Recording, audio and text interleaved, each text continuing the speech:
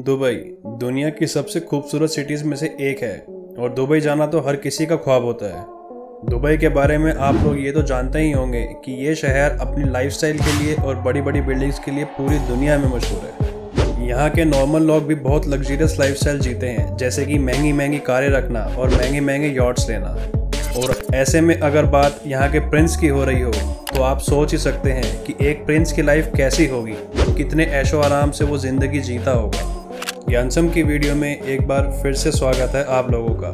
Dubai के prince Sheikh Hamdan के पास इतना पैसा है कि अगर 200 लोग भी ये पैसा गिनने के लिए बैठे तो एक साल से ज़्यादा लग जाएगा। दोस्तों, दुबई के शाही खानदान के आगे टीवी के मशहूर कलाकार भी बहुत छोटे लगते हैं। उसकी सिर्फ़ एक ही वजह है, और वो है पैसा। दोस्तों, आज आप इस वीडियो में जानेंगे कि दुबई के शाही खानदान के पास कितना पैसा है और हर वक्त पैसा पानी की तरह बहाने के बावजूद भी इस खानदान के पास पैसा खत्म क्यों नहीं होता, जिसको देखकर आपकी आँखें भी खुली की खुली रह जाएँगी। तो दोस्तों, इस वीडियो को एंड तक ज़रूर देखिएगा। दुबई के प्रिंस का पूरा नाम शेख हमदान बिन मोहम्मद बिन राशिद अल मखतूम है, जो कि इंटरनेट पे बहुत ज़्यादा ही फ़ेमस है। और इनको पूरी दुनिया इनके इंस्टाग्राम के नाम फजा से जानती है। शेख हमदान, शेख राशिद बिन सैयद अल मखतूम के दूसरे बेटे हैं, जो कि दुबई के किंग हैं और साथ ही साथ ये यूएई के वाइस प्रेसिडेंट भी हैं। अगर आपने भी कभी इनको इंस्टाग्राम पे देखा होगा तो आपको भी पता होगा कि ये कितनी लग्जरियस लाइफ जीते हैं। इनकी लग्जरियस लाइफस्टाइल को आगे इस वीडियो में देख के आप लोग भी यही कहोगे कि वाह लाइफ हो तो ऐसी। ऐसा माना जाता है कि दुबई की रॉयल फैमिली की नेटवर्थ 18 बिलियन डॉलर है, यानी कि एक लाख चालीस हज़ार करोड़ रुपए से भी ज़्यादा। 2018 की एक रिपोर्ट के मुताबिक इनकी नेटवर्थ 20 बिलियन डॉलर से भी ज़्यादा बताई गई है। लेकिन दोस्तों, सच बात तो ये है कि किसी को भी इनकी नेटवर्थ के बारे में पता नहीं है, क्योंकि ये अपनी नेटवर्थ किसी के साथ भी शेयर नहीं करते हैं। इसलिए आपको कभी भी अमीरों की लिस्ट में या किसी मैगजीन में इनका नाम नहीं दिखेगा। फजा के इंस्टाग्राम अकाउंट पर 14 मिलियन से भी ज़्यादा फॉलोअर्स हैं। और इनका इंस्टाग्राम अकाउंट देख के आपको समझ में भी आ जाएगा कि ये जानवरों से कितना प्यार करते हैं। और इन्हीं जानवरों पर इन्होंने लाखों करोड़ों रुपए खर्च किए हुए हैं। इन्होंने एक बार लगभग 20 करोड़ रुपए का सिर्फ़ एक ऊँट खरीदा था, जो कि दुनिया का सबसे महँगा ऊँट था। इन्हें महँगे महँगे जानवरों को पालने का बहुत शौक है, जिनकी कीमत इन्होंने करोड़ों रुपए दे रखी है। जैसे कि फैल्कन्स यानी कि बाज हॉर्सेस बेबी डियर्स लायंस और चीता। इनकी अमीरियत इनके खरीदे गए यॉट से लगा सकते हैं आप। इनके पास बहुत सी महँगी यॉट्स हैं, जिनमें से एक यॉट एक हज़ार करोड़ रुपए की है, जिसको स्प्रेल्डा भी कहा जाता है। इस यॉट पे वो ऐशो आराम और सुकून पाया जा सकता है, जो शायद किसी बड़े से बड़े सेवन स्टार होटल पे भी मिलता हो। इस आलिशान यॉट पे 12 गेस्ट रूम हैं और 24 क्रू मेंबर के लिए भी रूम है, जो कि सारा काम संभालते हैं, साफ़ सफ़ाई से लेकर लजीज खाना बनाने तक।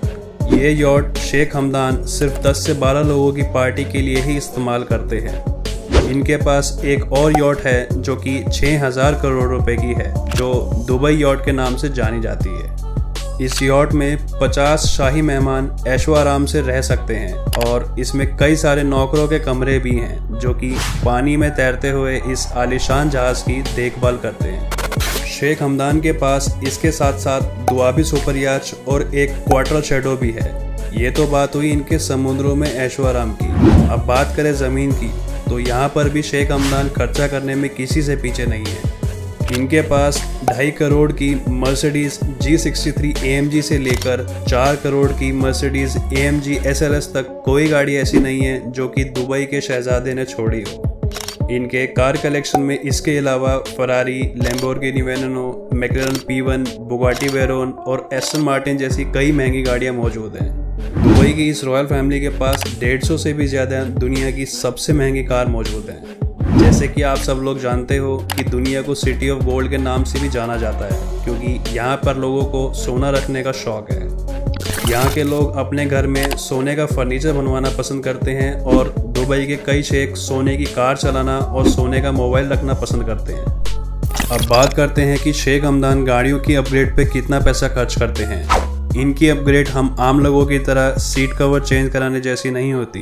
इनकी अपग्रेड का मतलब होता है कि गाड़ी के ऊपर 24 कैरेट गोल्ड की कोटिंग करवाई जाए, जो कि आप अपनी स्क्रीन पे देख रहे हैं। एक छोटा सा छोटा हार भी 15 से 20 लाख रुपए का आता है। तो आप अंदाज़ा लगा सकते हैं कि एक कार पे 24 कैरेट गोल्ड की कोटिंग करवाने पे कितने पैसे खर्च होते होंगे।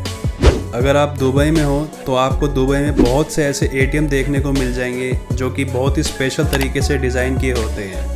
इन एटीएम की खास बात यह है कि इनमें आप अपना कार्ड डाल के 24 कैरेट तक का सोना निकाल सकते हैं। शेख मोहम्मद के पास एक दो नहीं बल्कि 40 से भी ज़्यादा प्लेन्स हैं। और ये भी कोई आम प्लेन्स या कोई ऐसे वैसे नॉर्मल प्लेन्स नहीं है, बल्कि ये बोइंग 787 ड्रीम लाइनर्स है, जिसकी कीमत 340 मिलियन डॉलर है, यानी कि 2700 करोड़ रुपए।